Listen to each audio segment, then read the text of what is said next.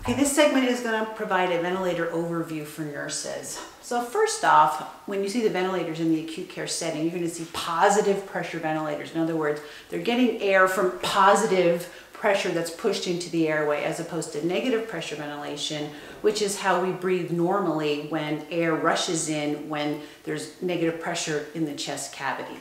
So that's just so you realize that.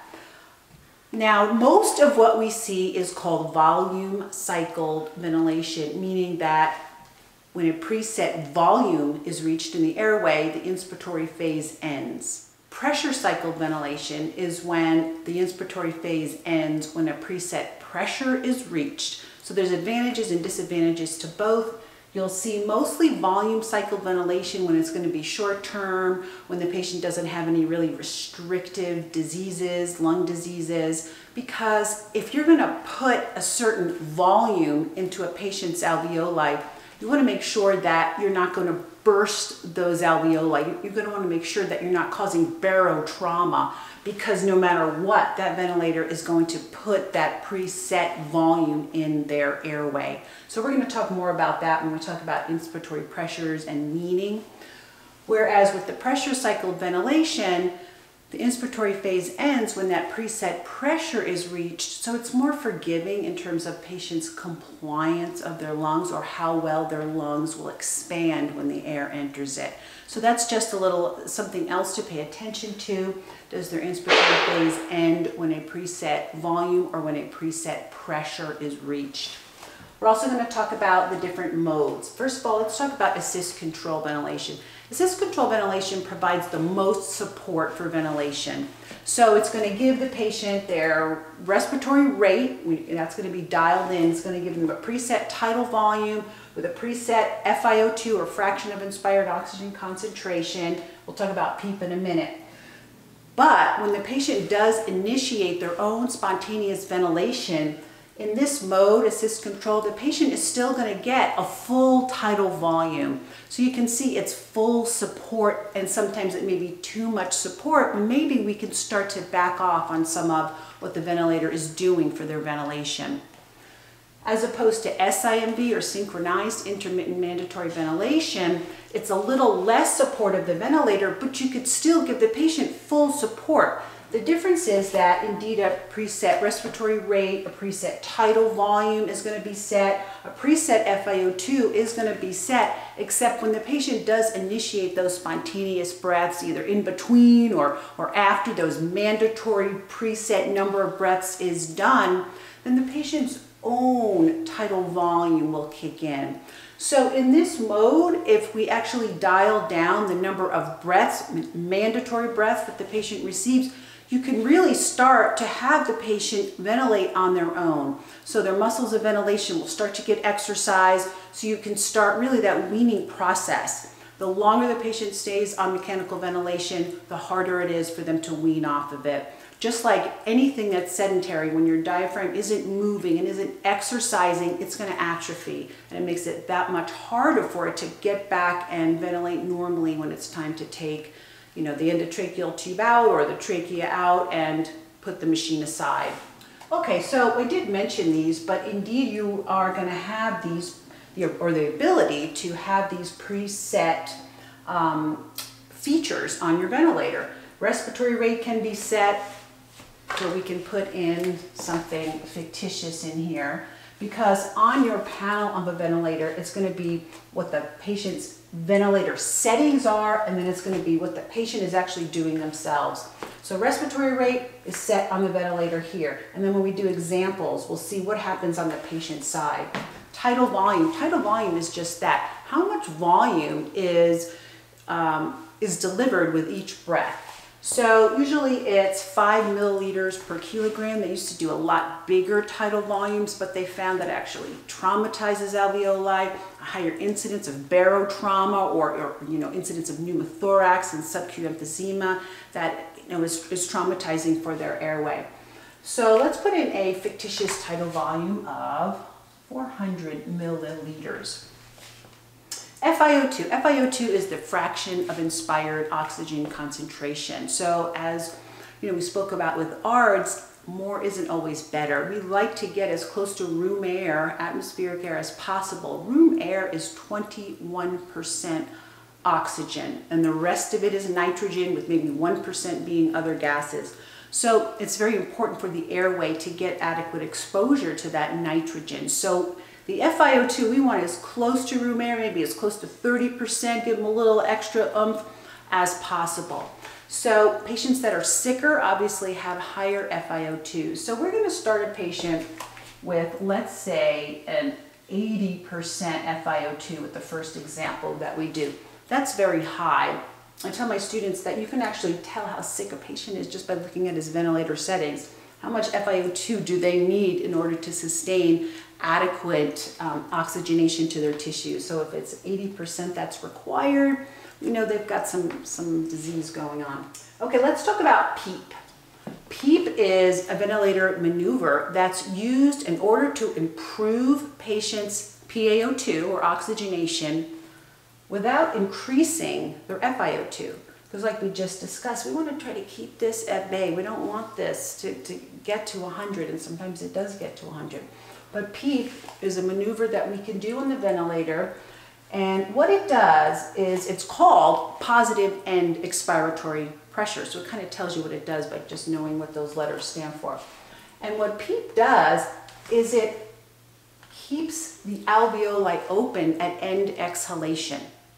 So it increases what's called that functional residual capacity. So it increasing the air or pressure really in the alveoli at end exhalation gives you more surface area for gas exchange, gives the alveoli more time for gas to exchange. It actually helps recruit partially collapsed alveoli so they never collapse. And it prevents other alveoli that are kind of threatening to collapse to be propped open. So you can see all this oxygen is very happy diffusing across the membrane and you don't have to increase that FiO2 with your PEEP. So PEEP and FiO2 are the two maneuvers on the vent that improve oxygenation. That's an important concept when we talk about what affects the different components on an ABG. So you can see this one set, you know, no PEEP and, you know, so, you know, the alveoli don't have that extra pressure the diffusion of gases is just diminished and just they're not happy at all. Okay, so let's talk about these settings a little bit in the context of weaning. Remember, we want to try to get the ventilator off just as soon as we intubated and attach them to that mechanical ventilator. So in this example, we put in a respiratory rate of 16, tidal volume 400, FiO2 of 80%. And what mode are they on? Well, let's put them on the mode that is the most support. So the assist control mode. So the patient's going to receive 16 breaths and each breath is going to have a 400 milliliter tidal volume, FiO2 of 80%. Now over here you get to see how many breaths the patient is actually taking. So what is he taking? Well, I noticed that, you know, he's taking 18 breaths when I look over at the ventilator dials. And I know that two of those breaths are above and beyond what's been set by the ventilator. So he's taking two spontaneous breaths. He's, he's initiating them at the very least. On this mode, above and beyond the set breaths, the patient's still going to get this full tidal volume. So when you look over here at the tidal volume, it's not going to surprise you very much because we know that on this mode, that's what happens. And we didn't set PEEP on here, so let's put a PEEP at 10. Let's look over here at what's called the peak inspiratory pressure. What is that? The peak inspiratory pressure tells you how much pressure it took to deliver that tidal volume.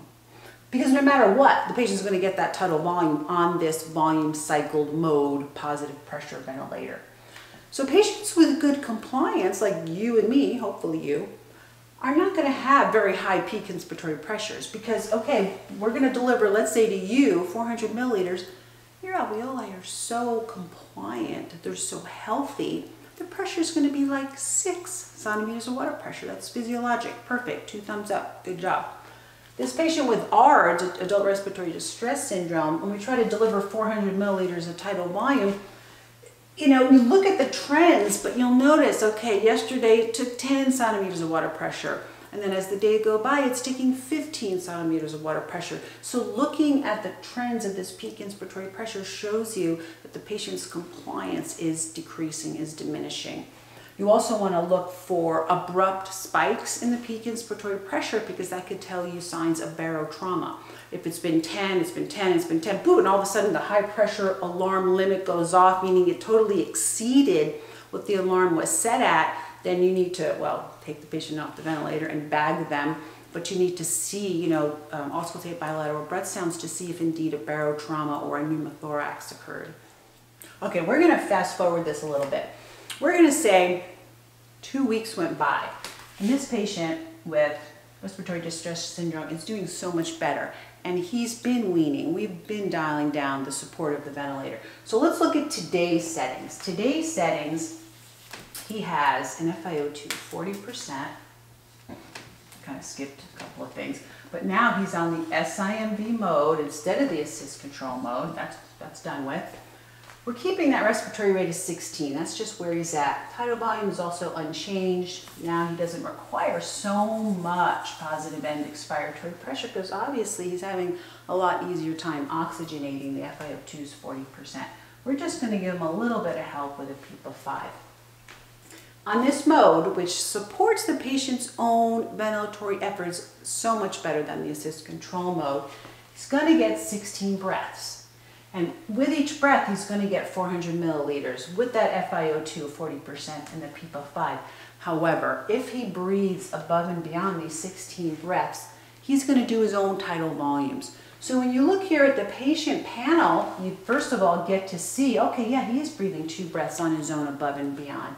But when I look at the, the patient tidal volume, it's going to mean a lot more to me than it did in the assist control mode because I know on those two breaths that those are his tidal volumes. We're going to know what he's made of in terms of what kind of breath does he actually deliver to himself.